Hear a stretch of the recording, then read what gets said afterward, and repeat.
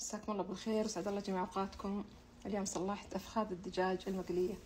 طريقة جدا سهلة ولذيذة.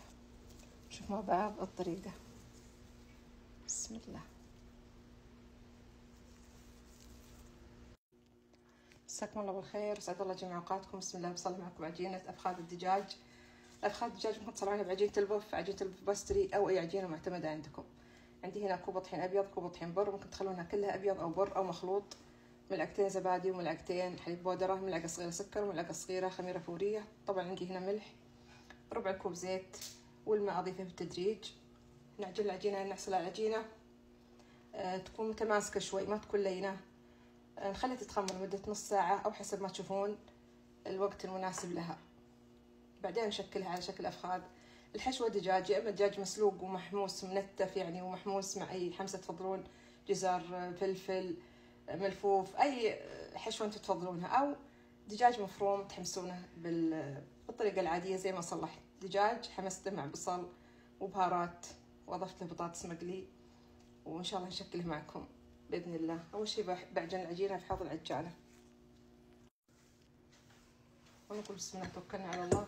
زي ما قلت ممكن تحطون كله أبيض أو كله بر أو تخلطونه والكمية تضاعفونها حسب رغبتكم. الخميرة ضروري تكون قليلة في عجينة فخال الدجاج. حطيت ملعقة صغيرة ملعقة صغيرة سكر وملح وملعقتين حليب بودرة وعندي ملعقتين زبادي.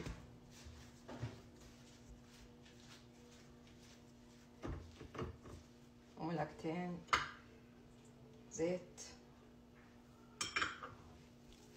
والماء بضيفه بالتدريج حسب احتياج العجينة بضيف الحين نص وبعجن بسم الله توكلنا على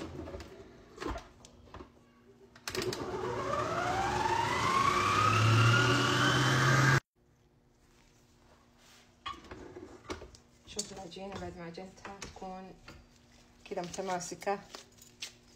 أضفت لها نص الكوب ماء فقط. أنا بيها كذا متماسكة عشان إذا جيت أشكلها تتشكل معي بكل سهولة على شكل أفخاذ دجاج. دهنت الزبدية بشوي زيت. نغطيها. تتخمر لمدة نص ساعة إن شاء الله ونشوفكم على خير. هلا وسهلا حياكم الله. عندي الحشوات جاهزة. دجاج مفروم. دجاج مشوي ومحموس مع بصل وبقدونس زي ما قلت الحشوة حسب ما تفضلون بالطريقة اللي تناسبكم وترضي ذوق اللي عندكم. عندي هنا بطاطس حبات بطاطس مجمد. عندي البيض وعندي البقسماط عندي العجينة خلاص ارتاحت. نبدأ بسم الله. نشكلها على شكل أفخاذ وفيه طرق متعددة تشكيل أفخاذ دجاج. بجرب معكم كم طريقة عشان الفائدة للجميع. أكثر من طريقة تقدرون تشكلون فيها الأفخاذ شايفين قوام العجينة كيف؟ كورها إلى كور صغيرة. هذه الطريقة الأولى. وأنا اللي أفضلها دائما. ممكن تفردون العجينة قطعة كاملة كبيرة وتقطعونها إلى دوائر أو إلى مثلثات وكلها تصلح تصلحون فيها الأفخاذ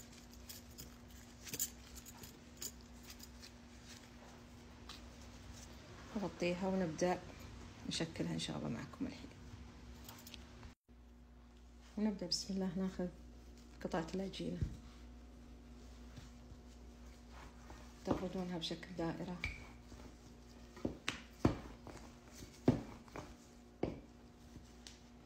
بهذا الشكل. تحطون البطاطس. تحطون الحشوة سواء الحشوة اللي صلحت هذه هذا الدجاج مشوي.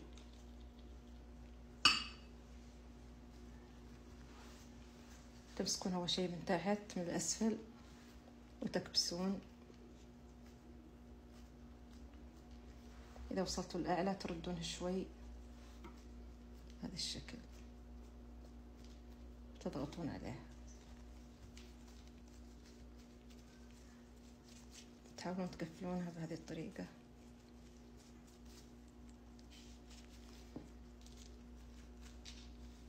ممكن تغطون البطاطس كامل أو تخلون جزء طالع منه. هذه الطريقة الأولى.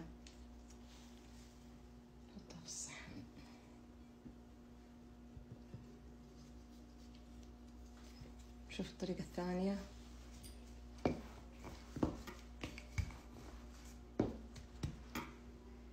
طبعا إذا كان البطاطس عود البطاطس طويل ممكن تقطعون منه شوي. ونحط الحشوة في الوسط. وتحطون عود البطاطس بهذا الشكل.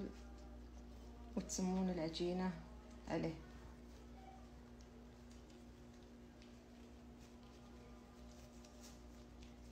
تحاولون تسحبون العجينة للأسفل.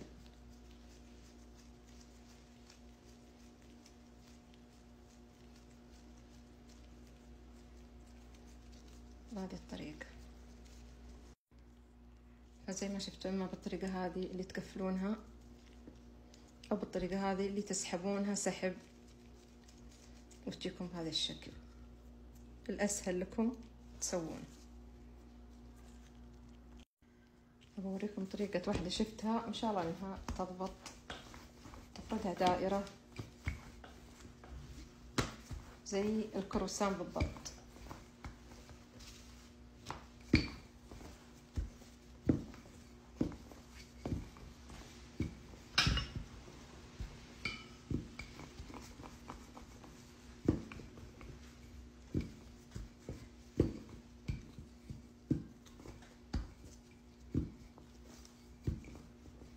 خلاص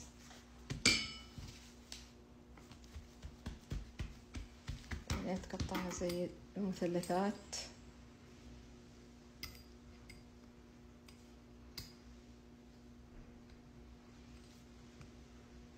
بوريكم طريقة التشكيل. خلاص تاخذ كل مثلث. خليهم على جنب.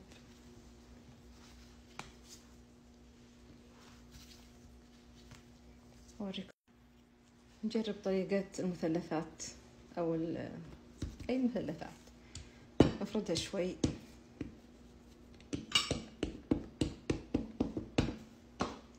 نحط البطاطس. ترجعون هذا عليه الطرف عليه. حشوة.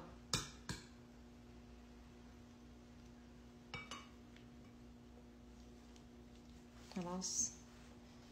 شوفوا الأطراف هذه تجيبونها كذا زي الزاوية زي المثلث تمسكونها وبعدين تلمون الأطراف على بعض.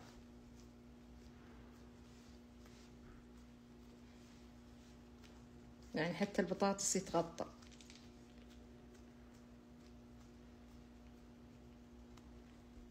إيش رأيكم في الطريقة هذه؟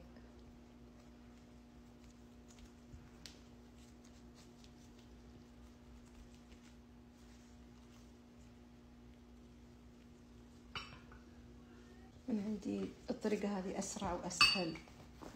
وانتوا عاد اللي يناسبكم مرة سريعة. كذا وتسكرونها زي الفطيرة العادية.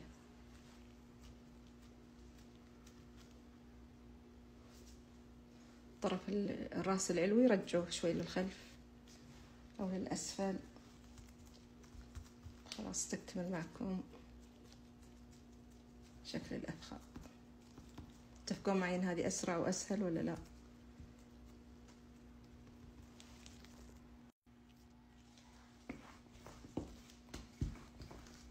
صلحت الطريقتين عشان أعرف أميز الحشوات من بعض.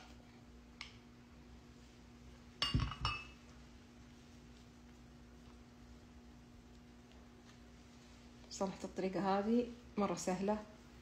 والطريقة الثانية عندي إنها أسهل. أنتوا عاد اللي يناسبكم سووا. هذه تجمعونهم على بعض كذا وتسحبونها سحب. كذا تسحبونها.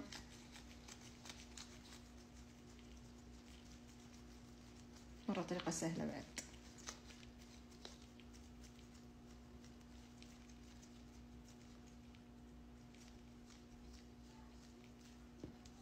خلاص باقي كم حبة ظهر خلاص بحطهم الآن في البقسماط والبيض. عندي البيض المخفوق وعندي البقسماط بدأت أغمس الأفخاذ في البيض أول شيء. أو في حليب رايب لو انتو لبن رايب قصدي لو ما تبون البيض تحطونه في لبن رايب. وعلى البقسماط طبعا مقاس الأفخاذ ممكن تحطونها أصغر أو أكبر حسب ما يتناسب معكم أو انتو تحبون. أو حسب الدجاج اللي انتو تستخدمون. تستخدمون ألف ولا تسعمية ولا ثمانمية ولا ألف وميتين ألف ومية. المهم المقاسات حسب ما ترغبون. وهذه الطريقة اللي سكرتها زي الفطيرة وهذه اللي بالسحب. وكلها ما شاء الله. كلها مضبوطة إن شاء الله. بس أنتوا تقلونها قلونها على نار تقلونها على نار آه، متوسطة. يعني تقلونها على نار حامية عشان يمديها تستوي. ضروري تخلونها تستوي. حموا النار وحطوها وسط. وقلوها في الزيت وتقلونها في القلاية الهوائية جربوا.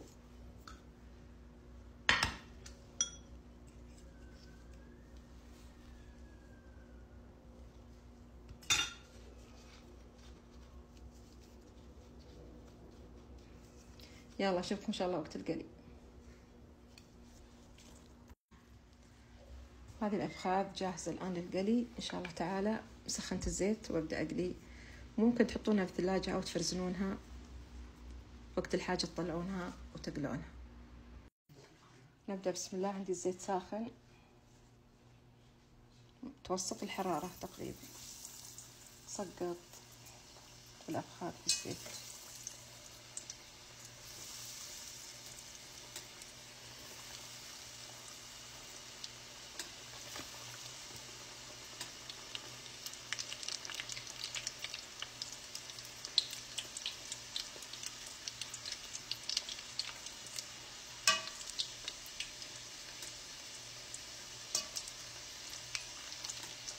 تصون درجة التحمير الحلوة.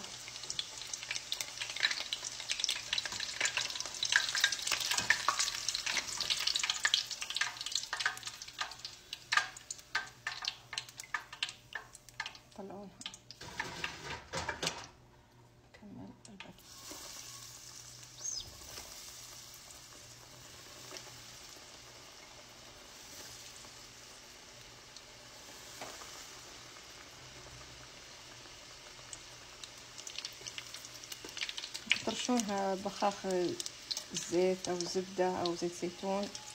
تحطونها في القلاية الهوائية تصلح. بس عاد تعرفون اللي في الزيت لمذاق آخر.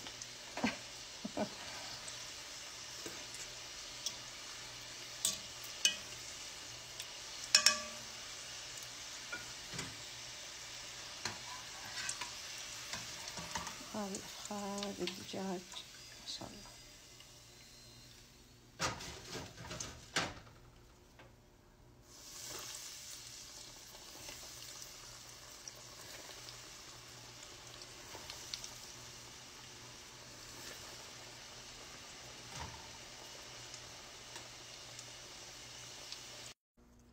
كذا خلصنا معكم أفخاذ الدجاج المقلية. بالصحة والعافية. عليكم. نشوف معكم واحدة.